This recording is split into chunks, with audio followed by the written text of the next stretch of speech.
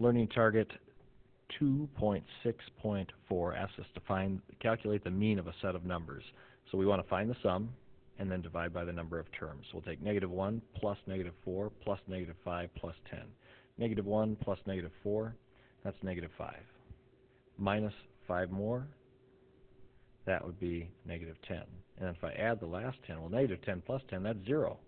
And if I take 0 divided by 1, 2, 3, 4 numbers, 0 divided by anything is 0. So the mean of these numbers, when I added them up, the sum was 0. Divide by how many terms there are, 4. 0 divided by 4 gives me a mean of 0.